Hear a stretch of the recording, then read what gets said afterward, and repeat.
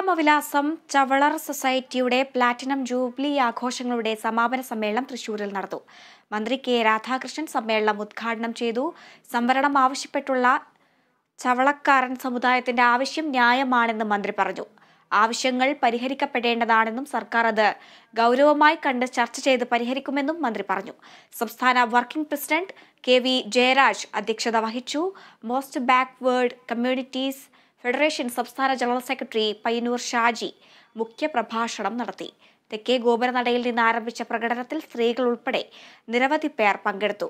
വാദ്യമേളങ്ങളും പട്ടുകുടകളും കലാരൂപങ്ങളും പ്രകടനത്തിന് അകമ്പടിയായി.